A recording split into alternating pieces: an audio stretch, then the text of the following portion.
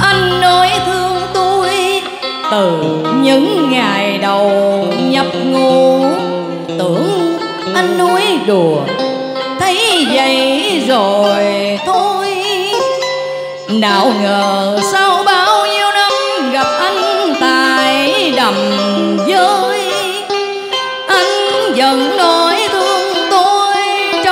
sự ngỡ ngàng của đồng đôi.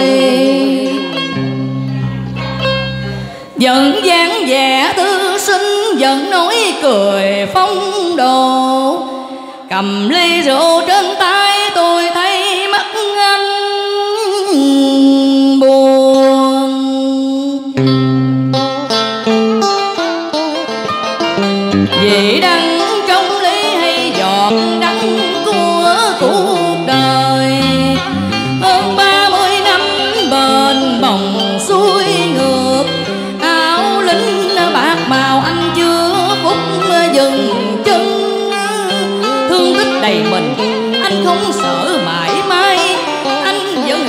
phúc hưởng trọn niềm vui cùng đất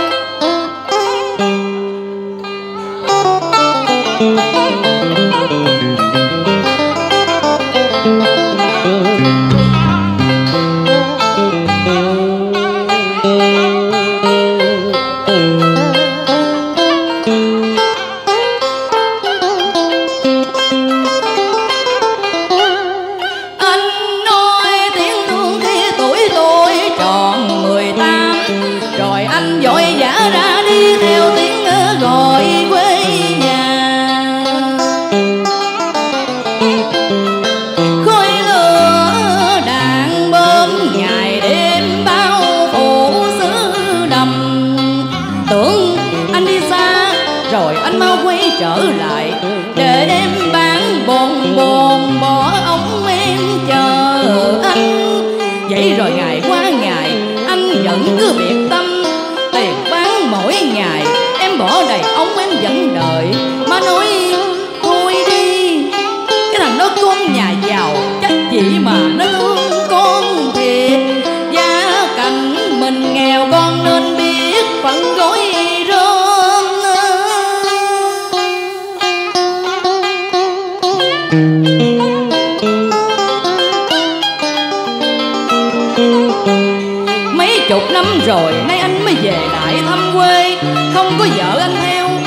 đồng đội bạn bè mới quan tâm thăm hỏi anh nói vợ anh nó quen sống ở sài gòn có ấy lạnh nước không tên, sợ cái nắng ở đầm chơi sợ nước ao rồi sợ mũi cắn.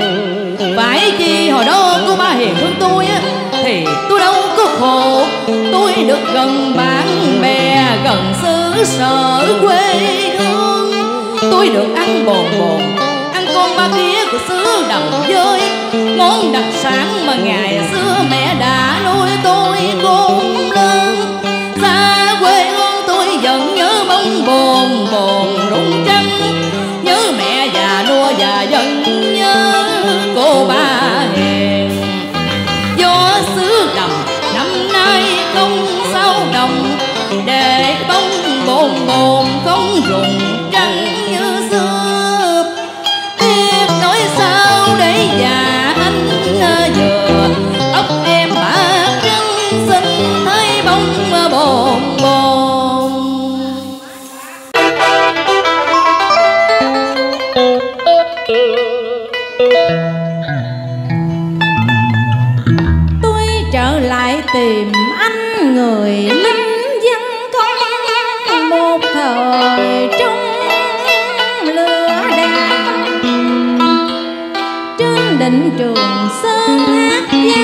moment.